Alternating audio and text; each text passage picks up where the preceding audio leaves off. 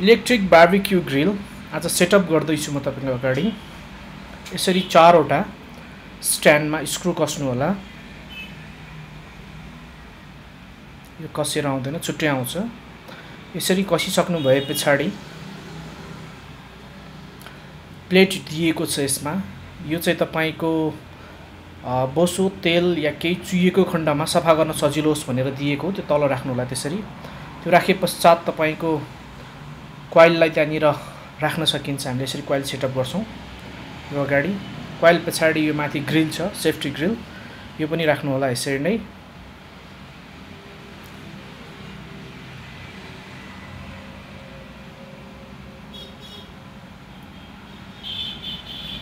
यो heating adjustable हो। यसले तपाईँको तापक्रम घटबडमा सजिलो घटबड गराउन मद्दत गर्दछ।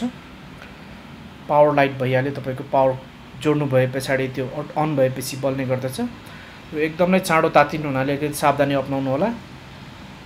तपाईँको जोडीको केही मिनटभित्र नै एकदमै तातिन्छ यो केही सेकेन्डभित्र नै।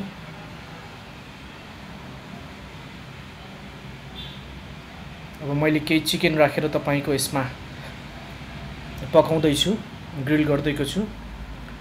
यो कोइलामा भन्दा यसमा धेरै चाँडो पाक्ने र कोइला कस्तो धुवा नहुने हुनाले यो तपाईँको स्वास्थ्यवर्धक पनि छ र कोइला स्वादिलो पनि पक्छ यसमा र धेरै चाँडो पनि पाक्ने गर्दछ।